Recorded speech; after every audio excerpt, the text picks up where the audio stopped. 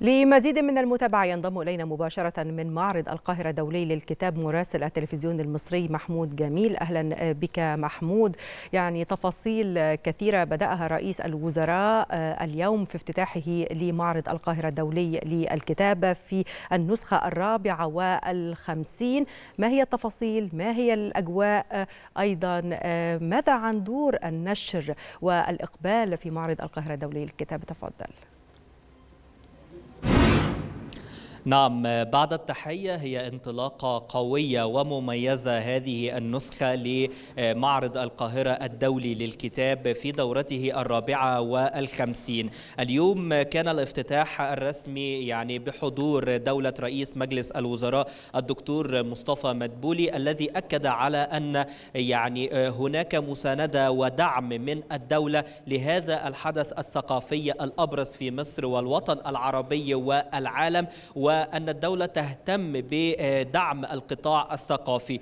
كان الافتتاح بحضور وزيرة الثقافة الأردنية وسفير الأردن في مصر وهي ضيف شرف هذه النسخة وأيضا وزيرة الثقافة المصرية. هذا المعرض له انطلاقة قوية لأنه يعني هناك عدد كبير من دور النشر التي تشارك في هذه النسخة. نتحدث عن 1047 ناشر ودور نشر تشارك في هذا المعرض. من 53 دولة سواء عربية أو الأجنبية منها. فهناك تنوع كبير في دار النشر وفي الخدمات التي سيقدموها للزائرين. اليوم كان الافتتاح الرسمي وغدا سيكون هو اليوم الأول لاستقبال الجمهور بدءا من العاشرة صباحا وحتى التاسعة مساء حتى يوم السادس من فبراير القادم. إذا تحدثنا عن بعض التفاصيل الخاصة والمهمة داخل هذا المعرض اولا المملكة العر... المملكة الأردنية الهاشمية يعني تحل ضيف هذه النسخة. وكان لنا لقاء مع وزيرة الثقافة الأردنية التي أكدت على يعني أن هذه المكانة هي تدل على عمق العلاقات بين مصر والأردن خاصة العلاقات الثقافية. وأكدت أنها بحثت مع وزيرة الثقافة المصرية تطوير الصناعة الثقافية خلال الفترة القادمة. تشارك المملكة الأردنية بما يقرب من 85 كاتب وشاعر من الإصدارات المختلفة والكتب المختلفة وسيكون أيضا هناك بعض الفعاليات الثقافية والفنية للمملكة الأردنية الهاشمية خلال فترة انعقاد المؤتمر المعرض. إذا تحدثنا أيضا عن بعض الأجنحة نتحدث أنه لأول مرة في في معرض القاهرة الدولي للكتاب تتواجد المبادرة الرئاسية حياة كريمة بجناح خاص لها داخل هذا المعرض. هذا الجناح سيقدم بعض الخدمات للزوار للتعليم التعريف بمبادرة حياة كريمة. سيكون هناك أيضا بعض ورش للأطفال عبارة عن ورش حكي وأيضا المسرح والرسم والتلوين وأيضا سيكون هناك يعني بعض المسابقات وبها جوائز للتعريف بمبادرة حياة كريمة والمشروعات التي تقوم بها بداية من بناء الإنسان والمشاريع الثقافية والتعليمية مرورا ب يعني التعمير التعمير والبناء في قرى حياة كريمة المختلفة. أيضا هناك بعض الأجنحة الموجودة الموجودة والهامة والتي تقدم خدمات مهمة لأول مرة. نتحدث عن أيضا جناح وزارة الدفاع الذي يعني يحكي ويقدم أيضا التراث العسكري يقدم الشخصيات العسكرية الهامة وقادة أبطال حرب أكتوبر. وشخصية الجناح هذا العام هو المشير أحمد إسماعيل أحد أبطال قادة حرب أكتوبر. نتحدث أيضا عن الإصدارات التي يعني تصدرها وزارة الدفاع فيما يتعلق عن أبرز البطولات يعني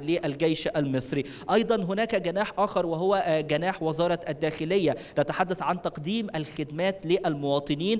ليس فقط المناهج الدراسية أو الإصدارات التي تصدر عن أكاديمية الشرطة ولكن أيضا بعض الخدمات الإلكترونية الجديدة خاصة لذوي الهمم للاطلاع على الخدمات المقدمة الإلكترونية كالسجل المدني أو خدمات المرور أو تجديد الرخصة. كل هذه الخدمات تتيح أو يتيحها جناح وزارة الداخلية الداخلية ويقدم التسهيلات لذوي الهمم لأيضا يعني عن طريق السماع أو الإشارة. هناك جناح آخر أيضا وهو جناح هيئة الرقابة الإدارية الذي يقدم إصدارات يعني تتحدث عن كيفية مكافحة الفساد. فبالتالي أيضا هناك بعض الفعاليات الثقافية التي ستبدأ من غدا الخميس حتى انتهاء هذا المعرض ليكون معرض القاهرة الدولي للكتاب رحلة ثقافية علمية وأيضا ترفيهية. سيكون هناك أيضا بعض الخصومات المقدمة في دار النشر. تتحدث عن أن مكتبة الإسكندرية